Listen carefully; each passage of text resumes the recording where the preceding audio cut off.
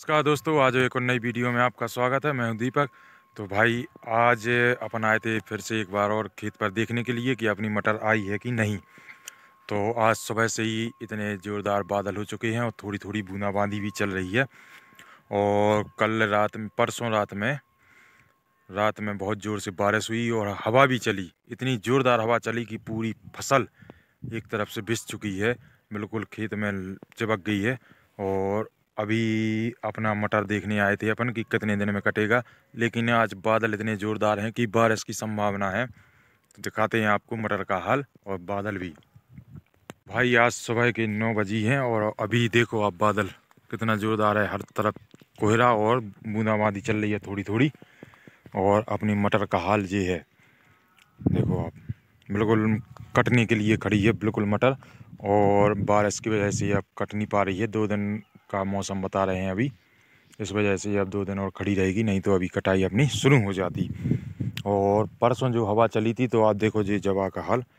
बिल्कुल ज़मीन में चबक गया है।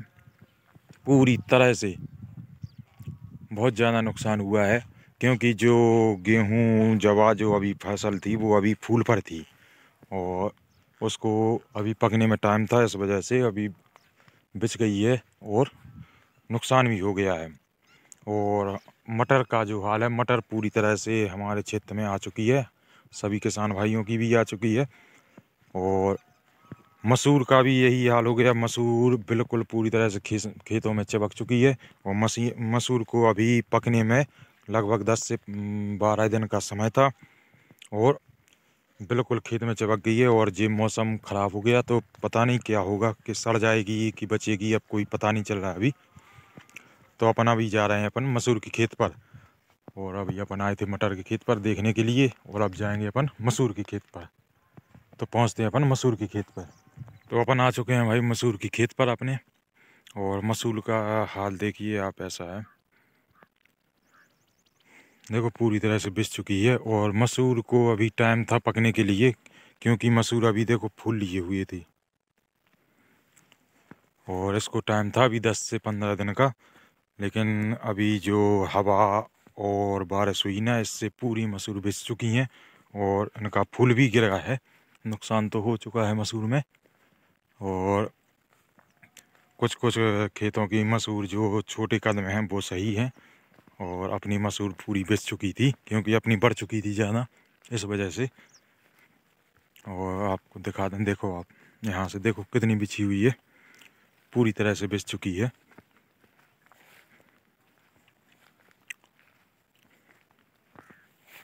तो भाई देखो आप मसूर का हाल। इस प्रकार है यहाँ पे। देखो कितनी बिछी पड़ी है। पूरी तरह से बिछ चुकी है हवा की वजह से।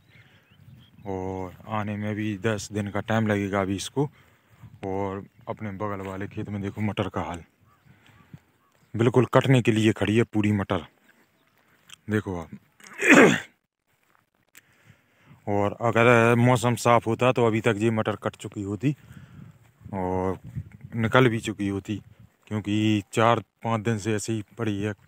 कोयला और बारिश की वजह से कट ही नहीं पा रही है, क्योंकि ठंड भी वापस आ चुकी है इस वजह से।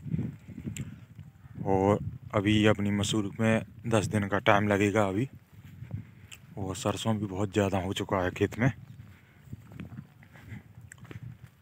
अब चलो दिखाते हैं आपको पिसी, जो गेहूँ का हल क्या है।